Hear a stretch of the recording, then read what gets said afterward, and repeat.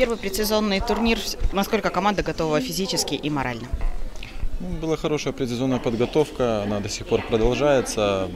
Э, Очень серьезная работа была проделана, поэтому я думаю, что на турнире мы выступим, э, я думаю, в средних своих кондициях, потому что все-таки еще присутствует э, фон усталости.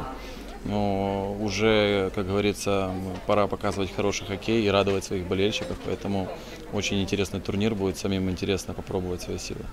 Оценивая три предстоящие матча и, и будущие соперников, с кем матч будет самым непростым?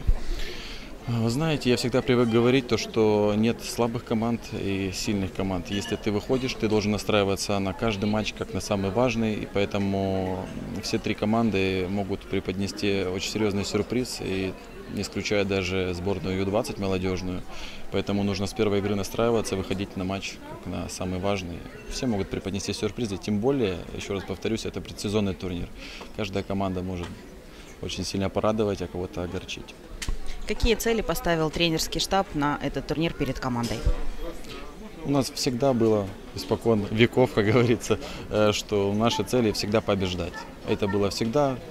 Тренерский штаб даже мог не объявлять, мы всегда командой идем вперед и только мысли о победе.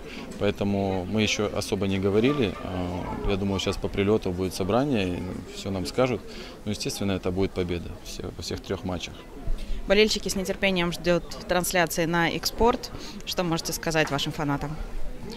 Я могу сказать то, что понимаю, как они соскучились по нам, по хоккею. Э, Мы не менее соскучились по ним.